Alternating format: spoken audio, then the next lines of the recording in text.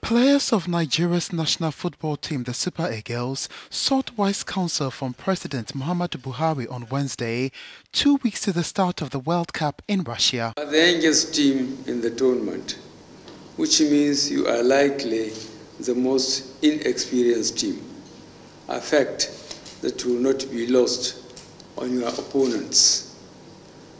But it is also something you can use to your advantage. The Super Eagles are locked in the tough group with Argentina, Croatia and Iceland. The players say they are confident. This is the first time that we're going into tournament like this without any issue of money, bonuses or anything like that. I think everything is sorted now for us. So all we have to do as players is to go out there and make this country proud.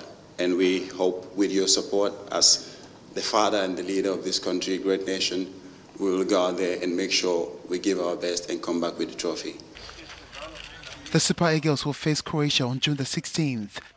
Nigeria, Egypt, Morocco, Tunisia and Senegal are the only African teams at the 2018 World Cup